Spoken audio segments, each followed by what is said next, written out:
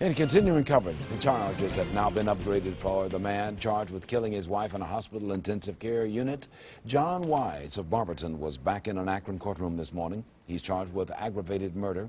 He did not enter a plea. Wise is accused of shooting his wife Saturday in what may have been a mercy killing. She died the next morning. 45 years of marriage, uh, blessed to be deeply in love with his wife throughout those 45 years. And uh, I, I'm absolutely confident that everything uh, that he's ever done for his wife has been done out of deep love, uh, including the events that just recently transpired.